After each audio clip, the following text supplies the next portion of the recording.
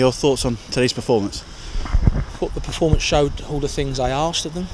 Uh, I said before, you know, obviously we did a lot of tactical work yesterday and looked at Dagenham how we were going to approach it. But the biggest thing for me in front of these fans with the week or two weeks that everyone's had is just go and show them that we're all we're all in the same direction. We all want promotion. We all want to win games at home and get people off their seats. And even at half time, you know, I was disappointed. I thought the goal was was avoidable, but after that, we didn't crumble. You know, we showed some character. And fair play to the fans because they didn't show any sign of turning on the players. So that's much appreciated because they never do. They just support, support, support, and it's always a difficult one when you're going away from that end second half, which obviously Dagenham's tactics to do and, and fair enough. So to keep Driverson on from a distance, and, and all, all three sides, by the way, were fantastic. So it's a big thanks to them today. Very rare event to go 1 0 down at home this season. How disappointed were we with the goal? Because there were four defenders around the ball. Yeah, disappointed. Something we, we, we talked about and tried to tweak at half time, just just players being a little bit further up the centre forwards backsides and, and not letting them turn. And, you know that happens. It's football. It's not happens on purpose. But what you look for as a coach is to, if that happens again, are you going to do the same mistake? I was always taught make a mistake, but don't make the same mistake twice, or else you're not listening. So, no, they, they, they were fantastic. The boys, second half especially, and I think we really turned it on a bit with the, with the way we played.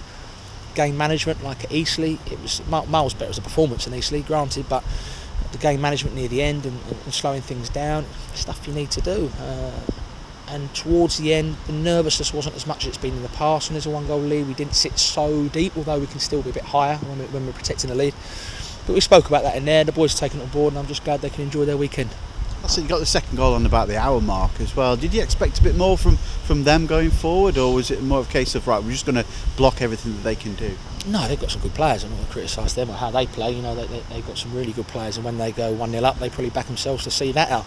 Uh, but you know, a bit of magic from Kingy, and, and Cav's shown some real character under pressure situation. By the way, as many goals as he's got, he's got for a reason because he's you know he's ice cold. So no, uh, it's Dag Dagenham. I think they'll be up and around there still. They'll be disappointed with the result today. They probably saw it as a perfect chance to upset you know all these six thousand odd people in here, and uh, it wasn't to be from. Jeff King, uh, he, created the two uh, penalty opportunities, and um, obviously breaking into the box. That's something that he does with uh, on a regular basis, doesn't he? That's four, I think, penalties he's won now. He does. And I, I said to, to Phil up there that I think that we've scored the most free kicks in the league. 99% of them probably have been created by him. We've scored the third most corners in the league, I think, created by him. Uh, I thought his defensive work was good today. I think he got done once down here with Myles Weston first half, but after that he was strong in the tackles, clearances were good. You know, the, these players are, you know, they all want to improve still. They're not going to rest on what they're good at. They want to get themselves better at. And, and the two weeks that I've been taking training, that's all they've shown. It's been great attitude. No Curtis Weston in the side or Laurence Maguire in the, in the squad today. What's their what's their situation? Yeah, it's a shame. You know, Fridays are quite short and sharp, so I like them to be. And uh, sadly, that, that Laurence, I think, even after Eastleigh, is his Achilles flared up. That's an ongoing thing, so we really need to take care of that one now. We don't want him to be out for too long. And Weston uh, was that bad whack he had at Southend, if you remember, that bad tackle he was out for a bit, and that's been a sort of ongoing thing. Uh, but they were both, you know, really keen and eager to be part of it, uh, and they're in and around the dressing room there, and they enjoy the win as much as everyone else. How are you and the players delighted after all the sort of hullabaloo that's gone off a couple of weeks to get the victory today? Yeah, I'm delighted. I'm delighted for, for those players, really, because, you know, ever since I've been taking day to day, that the attitude and effort and all those sort of cliches uh, have been fantastic. You know, so even at half time, disappointed with the goal, they're giving it their all. So you have to give them a little bit of love for that. You know, these supporters turn up today, and okay, there's a bit more clarity now on, on what is or isn't going to happen going forward. Uh, and they got behind us, and they're going to go home and enjoy their Saturday night, and that's what it's all about, making people happy. And uh, we had the three points at Eastleigh in a, in a different kind of way, and I thought today was uh, was a better performance and a more sort of exciting home performance to, to sort of stay second in the league. They're still unbeaten at home as well, and it's about turning those draws into wins, isn't it? Yeah, I think so. I think if you ask anyone if you'd lost two games after this amount of time, you'd pretty much work out we'd be up near the top. So I think it's important to get that mindset because there'll be games in the season where we're maybe nil nil away from home, and it will be like an Eastleigh or games where everyone's like, "Let me know what time does this finish." This is horrible, but you've got to make sure those times you don't lose. Uh, and I've said it before: if you defend well, if you if you if you're rigid, if you're strong, if you're disciplined, if you show character, while it's while it's nil nil, give yourself a chance of winning the game later on.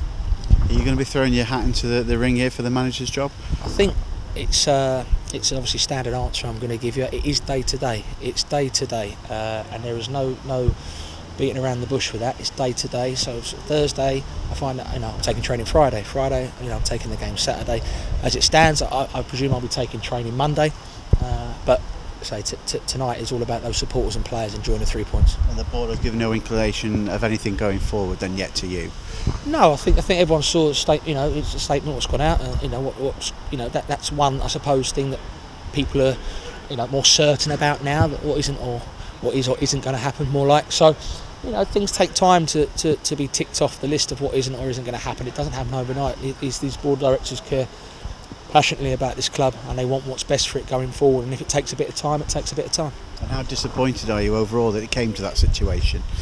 I think it, I think it's more a case of being very surprised by it. You know, I think it's you expect people to, you know, if you're bottom of the league and, and sort of things aren't going too well, then obviously people pay the price. But it, you know, it, it's happened now. We have to get on with it.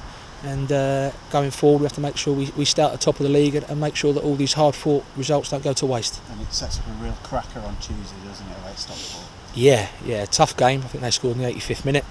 Uh, but they're grinding out ways to win. They've got a good squad, be a big crowd. Hopefully, we'll take a load down there and have a good night.